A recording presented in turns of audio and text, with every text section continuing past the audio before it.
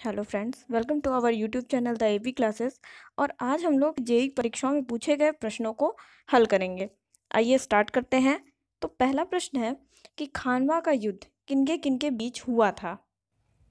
तो इसका सही उत्तर है कि राणा सांगा और बाबर के मध्य ये हुआ था। और ये हुआ कब था? तो सत्रह मार्च पंद्रह में गंभीरी नदी के किनारे हुआ था, जो कि आगरा से पैंतीस किलोमीटर दूर भरतपुर के पास है। नेक्स्ट क्वेश्चन है कि बी किस राज्य में है? तो उत्तर प्रदेश। इसके बाद अगला प्रश्न, किस व्यक्तित्व को 2019 का भारत रत्न मरणोपरांत दिया गया?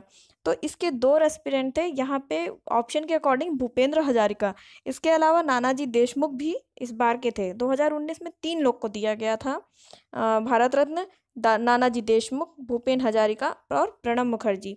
इसके अलावा कुछ लोग और हैं जिनको मरणोपरांत दिया गया है। तो हम लोग को उनके भी नाम जान लेने चाहिए इस तरह से। जैसे ये सबसे पहले दिया गया था लाल बहादुर शास्त्री जी को उन्नीस में। उसके बाद इसके दूसरे हैं कुमार स्वामी राम राजन, जिनको 1976 में मिला था। आचार्य विनोबा भावे, जो कि भूदान आंदोलन जिन्होंने शुरुआत किया था, इसके लिए इनको मैग, मैगसेसे पुरस्कार के लिए भी नामांकन इनका किया गया था और इनको मिला था उन्नीस सौ तिरासी में। मरधर गोपालन रामदास रामचंद्रन तो इनको मिला था 1988 में और अंबेडकर जी को 1990 में। इसके बाद उन्नीस दो हज़ार उन्नीस में नानाजी देशमुख और भूपेन हजारिका को। नेक्स्ट क्वेश्चन भरतनाट्यम किस राज्य का लोक नृत्य है? तो यह मुख्य रूप से दक्षिण भारत का लोक नृत्य है और इसका एक अन्य नाम भी है, जिस, इसे चधिर अट्टम के नाम से भी जाना जाता है। नेक्स्ट अब नेक्स्ट क्वेश्चन पे चलते हैं। हाल ही में खेले गए टी ट्वेंटी में सबसे कम उम्र के खिलाड़ी का नाम क्या था? तो वो थे रियान प्रयाग। ये राजस्थान के ऑलराउंडर हैं। नेक्स्ट क्वेश्चन कि महेश भूपति किस खेल से संबंधित हैं? तो ये किस खेल से संबंधित हैं?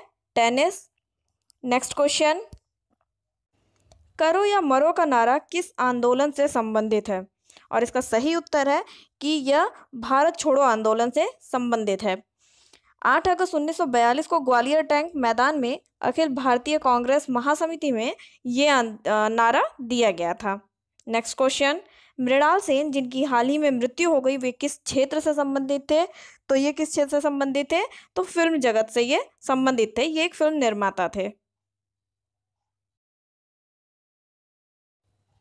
रावण वन सैटेलाइट किस देश ने लॉन्च की है? तो संयुक्त राज्य अमेरिका ने यह श्रीलंकाई अनुसंधान का पहला उपग्रह है, जिसे 17 अप्रैल 2019 को यूएसए द्वारा साइग्नस 11 के हिस्से के रूप में लॉन्च किया गया। नेक्स्ट क्वेश्चन की फेड कप किस खेल से संबंधित है?